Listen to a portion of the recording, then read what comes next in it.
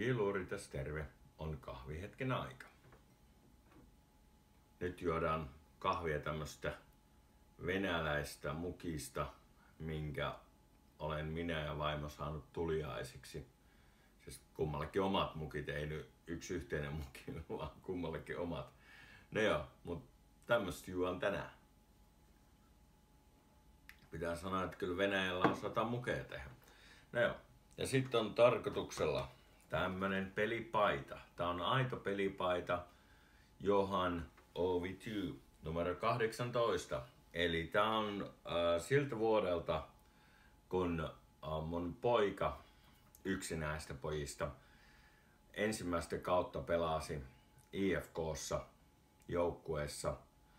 Ja tota, niin, niin, tää on samalta kaudelta Ovitun pelipaita ja sama pelinumero, eli numero 18. Eli jos näette mun poika sukunimi täsmää ja numero 18 tuolla jossain, niin se on tämä kaveri. No joo, mennään asiaan. Eli tota, ää, mä ajattelin tehdä tämmöisen videon, kun multa vähän väliä kysytään, että minkä takia mä vaihdoin peilittömään. Mä oon siis kuvannut tota, ennen tätä Sonia niin mä käytin Nikonia. Mulla on ollut Nikonin D3, D3S, D4, D800E, D810 ja sen jälkeen vaihdoin tähän Sonyin. Ja ennen tota Nikonia mulla on ollut Canon käytössä. Mutta tota, mä halusin vähän kertoa, että mitkä on ne avainpointit, minkä takia mä oon vaihtanut tähän. Ja nämä on nyt vaan pelkästään mun syitä ja mä en lähde siihen kinaamaan sen enempää, koska se, että niin kun Canon ja Nikon niin tekee hyviä runkoja, hyviä putkia vastaavaa, Eli tota, niin, nämä on nyt tämmöisiä vähän niin kuin makuasioita ja mikä sopii sun omaan käyttöön. Ja nämä on ne syyt, minkä takia mä en enää mene itse peililliseen, vaan pysyn peilittömässä. Okei. Okay. Ja sen verran voi sanoa tästä, mitä mä nyt käytän käytännössä.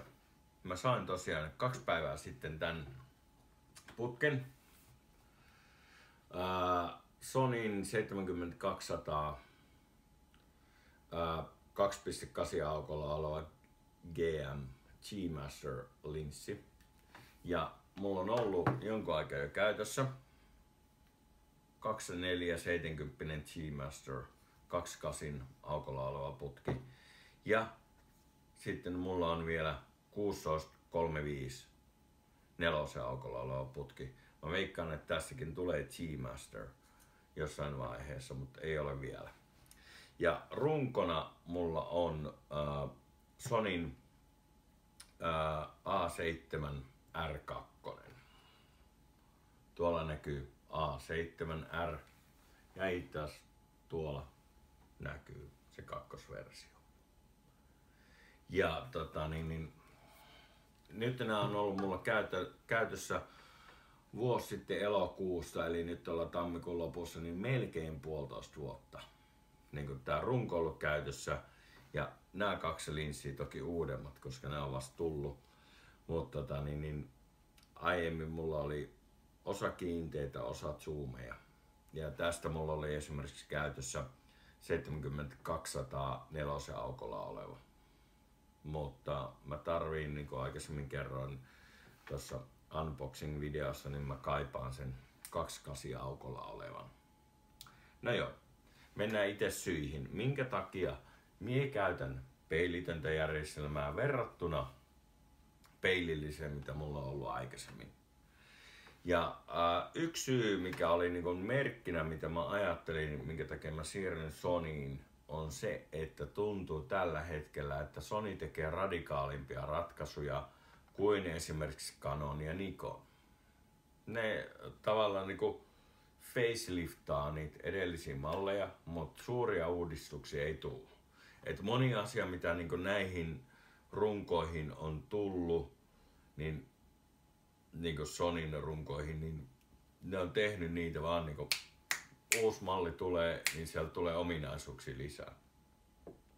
Ää, yksi mikä on iso juttu on siinä, että kun on peilitön järjestelmä, on se, että se on ihan sama.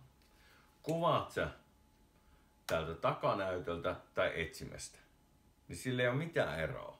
Tarkennusjärjestelmä toimii samalla lailla, kaikki muut toimii samalla lailla. Sä pystyt kumpaakin näyttöön määrittää, mitä sä näet siellä, mitä tietoja sulla näkyy siellä. Niin ne on ihan samat.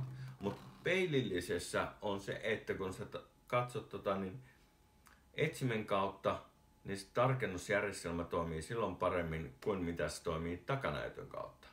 Eli esimerkiksi tässä ihan yksinkertainen asia, että sä kuvat vaikka lapsia tai haluat kuvata jotain maantasosta, niin peilillisessä sä meet makaamaan siihen maahan tai lattialle, mutta tässä sä teet, käännät näytön, vaikka näin, ja kuvaat sieltä.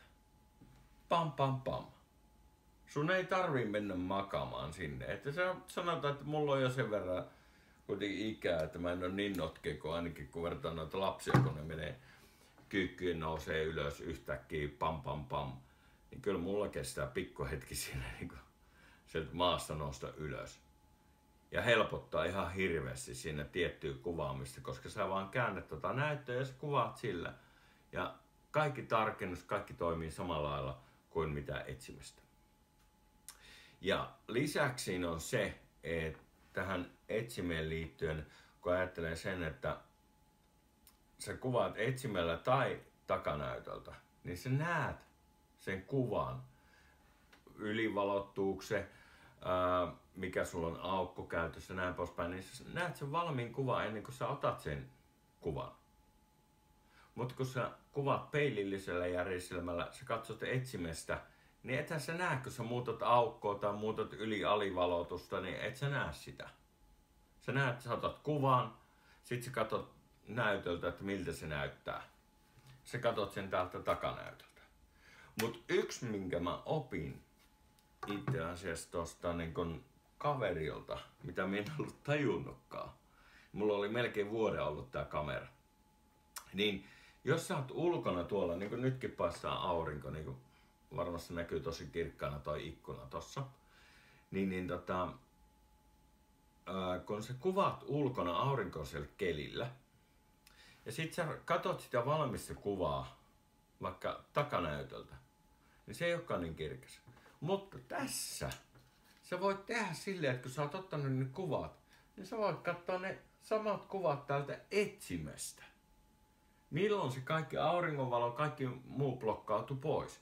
Eli sä voit katsoa video tai uh, ottamista valokuvia kumpaakin, niin täältä suoraan etsimestä, mikä on tosi kätevää. Silloin sä näet, että osuuko se varmasti oikein ja onko kaikki kohdallaan siinä kuvassa. Se on yksi tätä EVFn eli Electronic Viewfinder, niin sen etuja. Kun peilillisessä järjestelmässä kuvaat esimerkiksi etsimen kautta, se heittää sen peilin kautta sen kuvan, niin sun todennäköisesti pitää tehdä joka putkelle pieni tarkennuksen hienosäätö.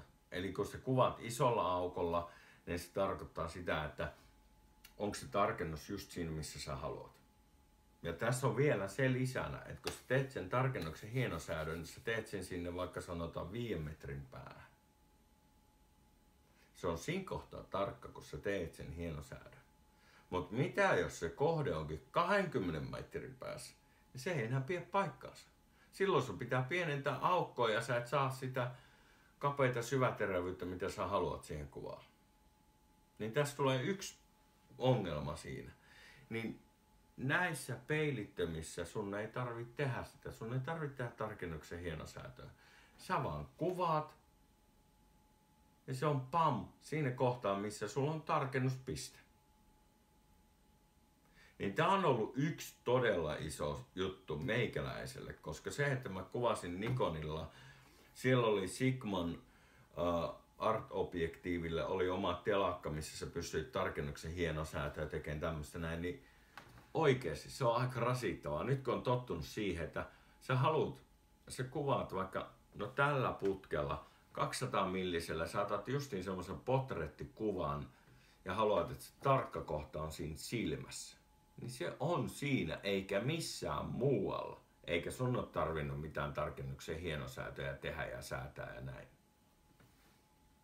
No joo. Ää, tästä päästäänkin siihen, että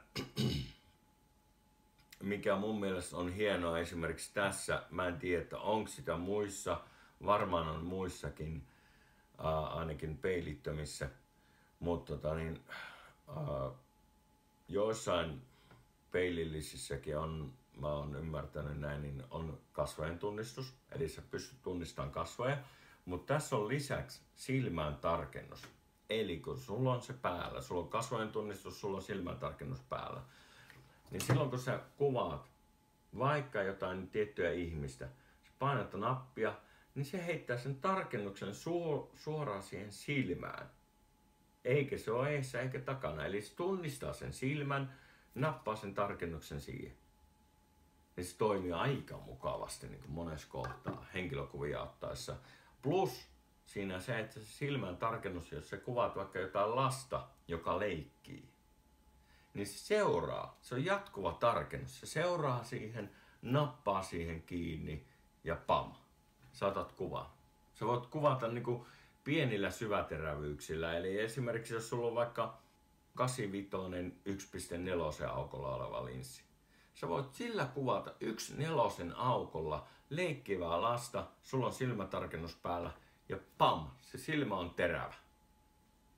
Ja lisäksi tässä on kasvojen tunnistuksessa se hyvä puoli, että sä pystyt tänne, jos sä oot esimerkiksi vaikka häitä kuvaamassa, niin kasvojen tunnistus toimii silleen, että tota, niin, sä voit valita sieltä ne kasvot. Eli saatat kuvan vaikka siitä morsiammesta, ennen kuin häät alkaa. Saatat kuvan siitä sulhasta, saatat sitten kaasosta, saatat Bestmanista kuva. Ja sä pystyt yhteydessä kahdeksan kasvoa kerrallaan niin kuin rekisteröimään siihen. Eli tarkoittaa sitä, että tota, niin, kun sulla on vaikka ensimmäisenä on morsian, sitten on sulhanen, sitten sä oot tota, niin, ottanut kaason ja bestmanin. Niin kun ne kaikki on kuvassa. Oho, oho, kato, sormus. Kaikki on kuvassa. Niin se tunnistaa sen morsiamin kasvot, se tarkentaa siihen. Jos nämä muut on kuvassa, morsian ei ole, sen jälkeen otetaan sulhanen, mikä on kakkosena. Se tunnistaa sen ja nappaa siihen se tarkennuksen. Tai jos siinä on vaikka 50 ihmistä, niin se tunnistaa sieltä, että hei, tossa se morsian, mihin pitää tarkentaa. Se on tarkka ja näin. Eli näihin pystytään lisäämään tämmöisiä asioita, koska se toimii eri lailla, kun sä oot koko ajan suoraan sensorin kanssa tekemistä, eikä sen peilin kautta. No joo. Ää, yksi, mikä on mulle ollut iso juttu, on tämä tarkennuksen seuraaminen, tarkennuspisteiden määrä. Eli se, että niin kuin esimerkiksi mä ku, kuvaan paljon kiekkoa, niin, niin tota, siellä on kiva sille, että sä seuraat sitä kaveria. Siinä on iso ala, millä se tarkennuspisteiden määrä on ja sillä on paljon pisteitä. Seuraa sitä ja jos joku menee eestä tai välistä, niin, niin tota, se hyppää sen yli, eli seuraa edelleen sitä kohdetta. Näin, niin se on ollut aika mukava kapistus, että toimii tosi mukavasti ainakin omalla kohdalla. Ja yksi mikä on, sanotaan vielä tämmöinen, että jos käytät manuaalitarkennusta, kuvaat makroa tai tiettyjä juttuja, että sulla ei ole niin kiire, että sä haluat käyttää manuaalitarkennusta, niin on tämä focus peaking. Niin focus peaking on se, että mulla ainakin se näyttää punaisena sen kohdan, mikä on tarkka. Eli vaikka sä kuvaat iso, isolla aukolla, niin sä näet just, että tossa vilkkuu punainen, tossa on se tarkennuskohta. Tai sitten jos sä kuvaat pienellä aukolla, niin sä näet, että hei tuolla taaempana toi on punaista, täällä on punaista. Kaikki tällä välillä on terävää. Niin se on aika kätevä ominaisuus tietyssä kohtaa. Jos sä kuvaat jotain tiettyjä henkilöjä ja ongelmahan monta kertaa, niin kuin tässäkin, niin toi ikkuna varmaan loistaa aika kirkkaana siellä videossa – niin on se, että jos sä otat ihmistä kuvaa, joka on ikkunan eessä, niin tämä mahdollistaa sen, että kun sä kuvaat sitä, sulla on se vaikka se silmän tarkennus päällä, niin kun sulla on oikea ohjelma täältä, tai siis oikea valotus, alue siellä päällä, niin se arvioi sen mukaan, että kasvot näkyy hyvin. Koska muutenhan normaalissa peilillisjärjestelmässä on se ongelma, niin sun pitää väkisi ylivalottaa. Mutta tämä pystyy esimerkiksi siihen, että se valottaa oikein ne kasvot ja sitten kompensoi sitä muuta. Sä näet siinä vaiheessa, kun sä otat sitä kuvaakin, että se valottaa se oikein. Et wifi on aika kätevä ja se kuvien jakaminen. Eli mulla on esimerkiksi puhelimessa Sonin sovellus, mikä ei maksa mitään. Ja mä pystyn suoraan, kun mä oon ottanut täällä kuvia, niin lähettää ne vaikka puhelimeen ja sille niin Faseen tai jonnekin. Ja aika usein tulee lähetetty vaikka vaimolle kuvaa, että kato mitä poika teki täällä jäällä. Niin toki sä pystyt sillä puhelimella tai pädillä näin poispäin niin ohjaamaan sitä kameraa. Eli sä voit kuvata video, sätä, aukkoa, valotusaikaa, ylialivalotusta, kuvata video, sätä, tarkennuspistettä, näin poispäin. Niin se on yksi, mikä on mun mielestä tosi kätevä, kun ajattelee sen, että näissä tietyissä merkeissä on sanottu, että niihin pro-runkoihin ei pystytä sitä tekemään, että laittaa sinne wifiä, vaan siitä palikasta, wifi-palikasta pitää maksaa 600 tai 700 euroa.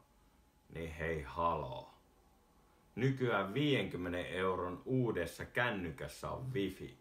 Niin sitten ne väittää, että tuommoiseen niin 6000 euron laitteeseen ei pystytä tekemään wifiä niin se on niinku potaskaa kuin mikä.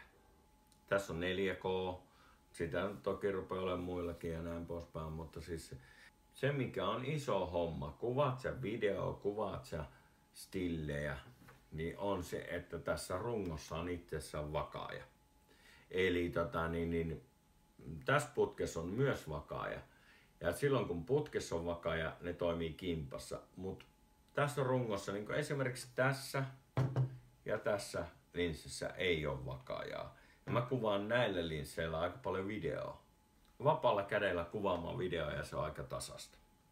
Sitten yksi mikä on omalla kohdalla etu on nämä napit ja säädöt.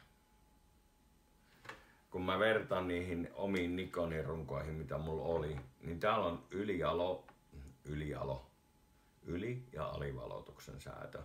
Täällä on rullat. Plus se, että tätä sä pystyt myös säätään vapaasti. Että mitä se tekee ja näitä komentoja täällä. Plus se, että täällä on ohjattavia nappeja erikseen. Mitä sä pystyt tosi vapaasti säätämään, että mitä sä niillä voit tehdä. Niin se helpottaa nopeuttaa sitä käyttöä ihan älyttömästi. Ja lisäksi täällä on valmiita ohjelmia. Ja se on helppo säätää niitä ohjelmiakin silleen, että kun sä oot kuvaamassa, niin mulla on esimerkiksi ykkönen ja kakkonen tossa, mitä mä käytän koko ajan. Niin on se, että ykkösellä on toisenlaiset säädöt, kakkosella toisella pyörittät kiekkoa yhden pykälän, niin sulla on kaikki säädöt kohdalla. Sulla voi olla vaikka erilaiset video mahdollisuus. Toinen niin kuvaa 4K, toinen Full hd jos haluat. Tai mitä vaan. Aukot, kaikki uh, valotusajat, tämmöiset isoherkkyydet, tämmöiset voit määrittää, jos haluat. Eli toi napit on niin mun mielestä, että vaikka okei, okay, ne on pienempiä ja näin poispäin, ja runko on pienempi. Ennen mulla oli semmoista iso runkoa, missä mulla oli niin pikkurilli tässä tavallaan näti jatkalla. Nyt on oppinut, kun on käyttänyt tätä, ja mulla on pikkurilli täällä alla. Ja se itse tukee tosi hyvin sitä kuvaamista että kun sä napsit niitä kuvia, niin, niin se on aika tukeva. Ja se, että ennen mulla käsi nojas tuohon runkoon, nyt se lähinnä nojaa tuohon putkeen ja sitten lisäksi ehkä tuohon runkoon. Mutta kun tänne on oppinut, niin ei tämä koko ole mikään ongelma. Mä oon ihan tyytyväinen, että runko on pienempi kooltaan. Putket on samankokoisia käytännössä, voi sanoa. Yksi mikä semmonen pikkujuttu on, Mä ennen maksoin kennon puhdistuksesta. Tässä on kenno aika lähellä. Mä putsan tää itse. Säästää jopa rahaa siinä. Sä voit tehdä sen silloin, kun susta tuntuu, että se on likainen. Siinä menee viisi minuuttia. kenno on puhistettu ja sä voit jatkaa kuvaamista. Yksi, mikä on niin ollut puhetta tässä aina akun kestosta ja tämmöistä näissä, niin mä en koe sitä ongelmaksi, on se, että tässä on akku. Eli jos ajatellaan, sä oot kuvaamassa pam pam pam pam. Akku irti, toinen tilalle. Noin. Meni aika? Se, että joillekin on ylipäätse, ylipääsemätön ongelma vaihtaa se akku siihen kameraan. Kun tälläkin mä voin yhdellä, kun mä kuvaan stillejä pelkästään, niin mä kuvaan semmoisen 1000-1500 kuvaa.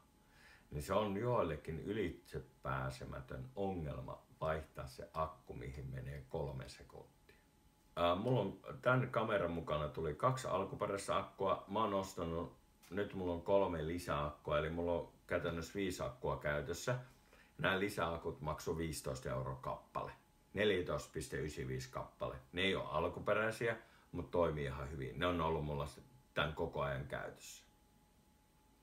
Ja se, mikä mun mielestä on tosi hieno juttu tässä, on se, että kun täällä on liitännät, on mikrofoni, kuuloke liitäntää, mini USB tai micro USB ja toi, onko se nyt mikro HDMI vai mini HDMI, jompikompi, mikrossa taitaa olla.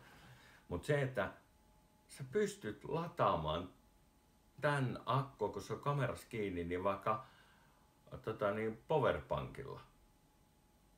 Työt USBn kiinni, missä sulla on powerpankkia siihen. Tai sitten normaali autotupakassytkäristä, missä on USB-liitin, niin sä tökkäät sen tänne, se lataa tätä akkua, kun sä ajat autolla toisesta paikkaa toiseen.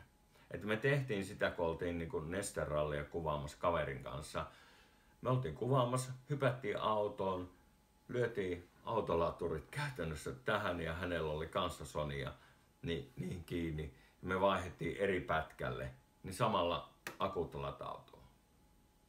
Kun ajattelee vertaa niin näihin normaaleihin järkkäreihin, kun yleensä on se ongelma, että missä sä lataat akkuja. Tässä sun pitää aamulla varmistaa se, että sulla on tarpeeksi akkuja, että riittää varmasti koko päiväksi. No saatat tämmöisen powerbankin, missä on kymmenen tämmöistä akkua virtaa. Ja sulla riittää niinku, sulla periaatteessa voi olla yksi akku ja powerpankki mukana. Nämä on tämmöisiä asioita, mitä mulle tulee nyt mieleen tästä, niin kun, minkä takia mä tykkään tästä peilittömästä järjestelmästä. Yes. Kiitoksia. Kiluri kiittää. Ja jatkaa kahvijuontia. Moro.